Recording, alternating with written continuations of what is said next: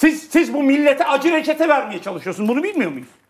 Bu millet mi bunun sorumlusu? Emekler mi sorumlusu? İşçiler mi sorumlusu? Memurlar mı sorumlusu? Yerken onlar mı vardı? Koca koca ihaleleri verdiğinizde, dünya kadar faiz ödediğinizde. Ben onun için denk bütçe diyorum. Yeniden refah, yeniden refah, kara kaş, kara göz mi diyorum? Bana ne? Ama bir hikayesi var, anlatıyor. Var. Senin gibi kapalı kapılar ardında belediye kavgası yapmıyorsun kardeşim. Yapmayın ya bırakın ya hala bak bugün olmuş. O belediye başkanı olacak bu belediye. Vallahi billahi kopuklar halktan ya.